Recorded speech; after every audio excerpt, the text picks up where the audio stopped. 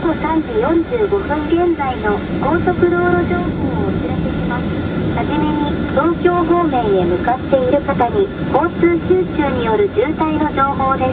およそ50キロ先の海老名ジャンクションの先を先頭に36キロポスト付近まで13キロほど渋滞しています。この渋滞を抜けるのに25分ほどかかります。次におよそ90キロ先の首都高速3号線上り谷町を先頭に東名3キロポスト付近まで断続的に13キロ渋滞しています。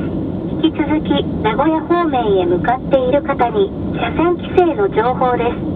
左ルートのつぶらのトンネルのおよそ7キロ先から足原サービスエリアまでの区間で舗装作業を行っており車線規制になっています。次に渋滞の情報です。およそ45キロ先の沼津インターの先を先頭に工事により6キロ渋滞しています。ハイウェイラジオ新愛湯沢よりお伝えしました。